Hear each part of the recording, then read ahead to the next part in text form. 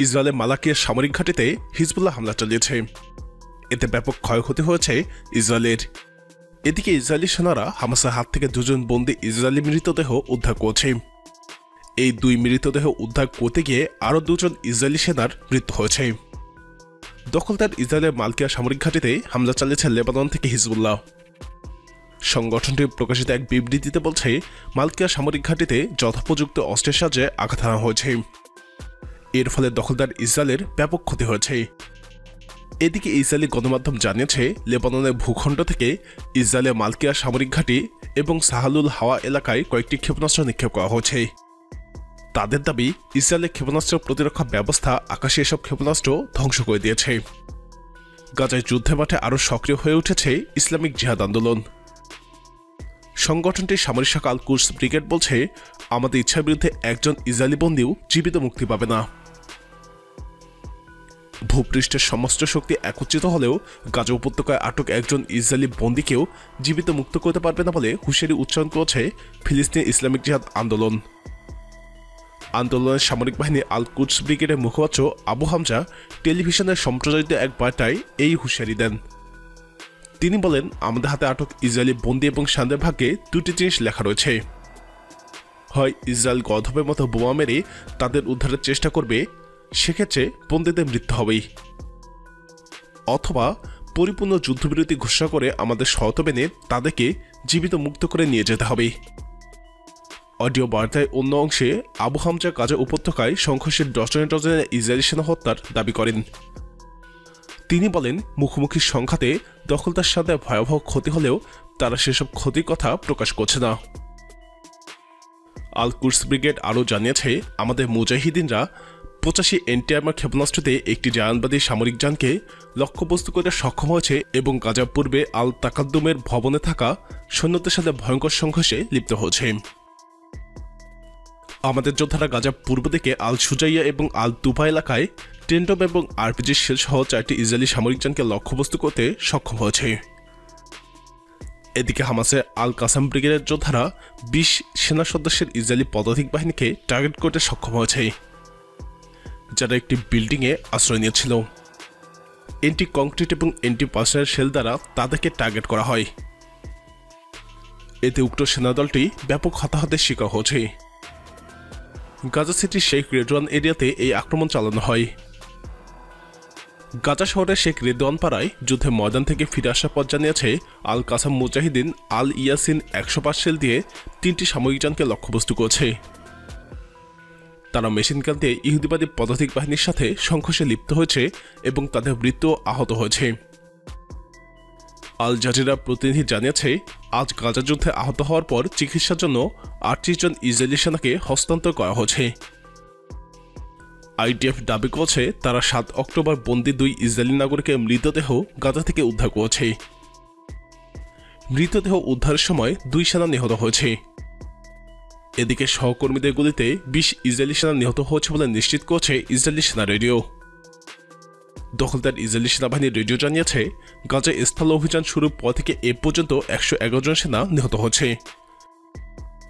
এর মধ্যে বিশ জনের প্রাণ হারিয়েছে সহকর্মীদের গুলিতেই নিহতদের মধ্যে কয়েকজন উচ্চপদস্থ সামরিক কর্মকর্তাও রয়েছে বলে তারা স্বীকার করছে। সেনাবাহিনীর রেডিও খবরে আরও বলা হয়েছে, গাজায় যে বিশ জন ইসরায়েলি সেনা সহকর্মীদের গুলিতে প্রাণ হারিয়েছে, তাদের মধ্যে তেরো জনকে গুলি করা হয়েছে, শত্রুপক্ষের সদস্য বিবেচনা করেই। ইসরায়েলি বাহিনী ভেবেছিল তারা যাদেরকে গুলি করেছে তারা ফিলিস্তিনি। কিন্তু হত্যাপতার বুঝতে পারে তারা নিজেদের সেনাদেরকেই হত্যা করেছে। ইসরায়েলের সেনাবাহিনী বলছে, ফিলিস্তিনদের আল আকসা তুফান অভিযান শুরু হওয়ার পর থেকে এ পর্যন্ত চারশো পঁচিশ জন ইসরায়েলি সেনা নিহত হয়েছে। তবে নিরপেক্ষ সূত্রগুলো বলছে, গাজায় হতাহত ইসরায়েলি সেনাদের সঠিক পরিসংখ্যান প্রকাশ করা হচ্ছে না। ইসরায়েলের ঘোষিত সংখ্যা চেয়ে প্রকৃত সংখ্যা কয়েকগুণ বলে ধারণা করা হচ্ছে। ইসরায়েলি দৈনিক ইয়াদিয়ত আহরণত কয়েকদিন আগে এক প্রতিবেদনে বলছে, তারা সামরিক সূত্রগুলো থেকে নিশ্চিত হতে পেরেছে, সাত অক্টোবর থেকে শুরু হওয়া যুদ্ধে এ পর্যন্ত পাঁচ হাজার বেশি ইসরায়েলি সেনা আহত হয়েছে। এদের মধ্যে দুই হাজার পঙ্গু হয়েছে। এদিকে ইসরায়েলি ক্ষেপণাস্ত্র হামলা ব্যর্থ করল সিরিয়ার আকাশ প্রতিরক্ষা ব্যবস্থা।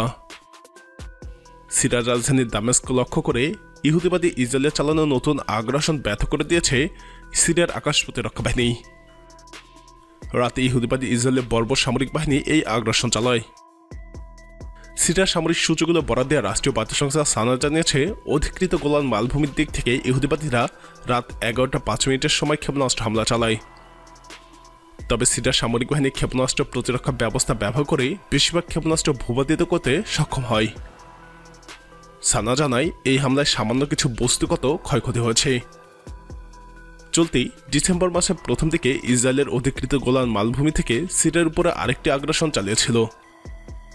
তার এক সপ্তাহের দামেস্ক আন্তর্জাতিক বিমানবন্দর লক্ষ্য করে ইসরায়েল হামলা চালায়, যার কারণে বিমানবন্দরটি ব্যবহারের অযোগ্য হয়ে পড়ে।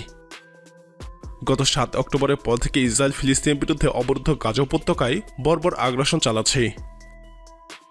এর মধ্যে সিরিয়ায় হামলা জোরদার করছে দখলদার ইসরায়েল। তাতে হামলায় সিরিয়ায় কর্মরত ইরানের দুই শীর্ষ পর্যায়ের সামরিক উপদেষ্টা নিহত হয়েছেন। এই হামলার পর ইরান বলছে তারা এর প্রতিশোধ নেবে। মানবিক দিক বিবেচনায় ফিলিস্তিন গাজায় অবিলম্বে যুদ্ধবিরতির আহ্বান জানিয়ে জাতিসংঘে একটি প্রস্তাব পাশ হয়েছে। জাতিসংঘের সাধারণ পরিষদে নিরঙ্কুশ সংখ্যাগরিষ্ঠতায় প্রস্তাবটি পাশ হয়। গাজার যুদ্ধবিরতি আহ্বান জানাতে মৌরিতানিয়া এবং মিশর এই প্রস্তাব তুলেছিল।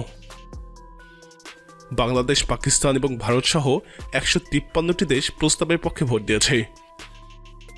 তবে আমেরিকা, ইসরায়েল সহ দশটি দেশ বিপক্ষে ভোট দিয়েছে। ভোটদানে বিরত ছিল তেইশটি দেশ। ইউক্রেন যুদ্ধের জন্য রাশিয়ান নিন্দা জানিয়ে জাতিসংঘের সাধারণ পরিষদে ওঠা প্রস্তাবে বেশিরভাগ সময় জাতিসংঘে একশো চল্লিশটি বা তারও বেশি দেশ ভোট দিয়ে আসছিল। তবে গাজায় ইসরায়েলের হামলাপন্থের দাবিতে তোলা প্রস্তাবের পক্ষে ভোটের সংখ্যা সেই সংখ্যাকেও ছাড়িয়েছে। গাজায় যুদ্ধবিদ্যে আহ্বান জানাতে সাধারণ পরিষদের প্রস্তাবটি যে পাশ হবে তা আগে থেকে ধারণা করা হচ্ছিল।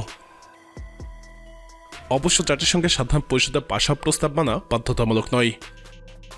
যদি এর রাজনৈতিক গুরুত্ব রয়েছে। কারণ এর মাধ্যমে বৈশ্বিক মনোভাব বোঝা যায়।